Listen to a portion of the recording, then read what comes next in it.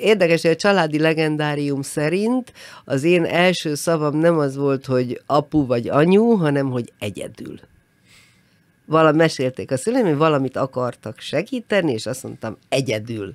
És ez volt az első szavam az életemben, és valahogy ez így elkísér, hogy, hogy így egyedül akarom megoldani a dolgokat, valószínűleg azért, mert nagyon régen élek egyedül, és így most, érted, egyszerűbb felvinni a 15 kilós kutyakaját, mint megszervezni, hogy most akkor kijöjjön ide, aki felviszi a harmadik. Érted? Ez nem büszkeség inkább?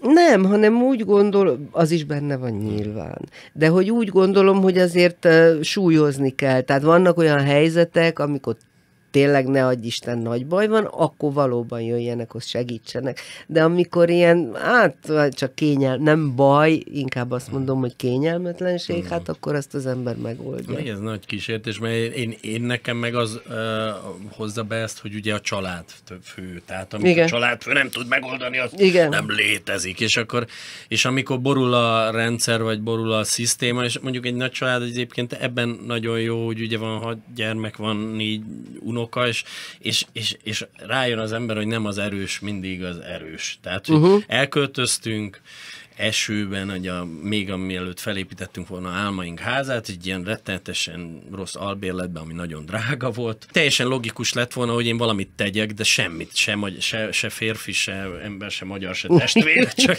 megfáradt.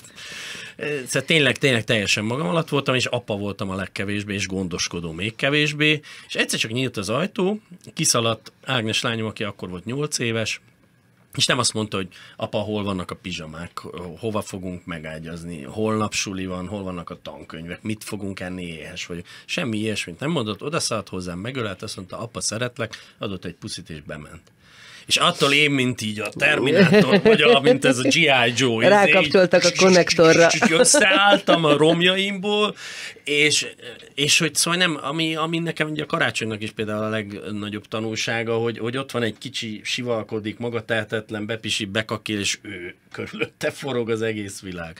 Tehát, hogy, hogy nem mindig az az erős, aki az erős.